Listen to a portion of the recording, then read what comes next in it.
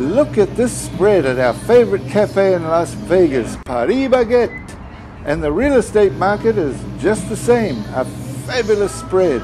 So use an experienced agent. Text the number on the screen and let's meet at this cafe and have a chat.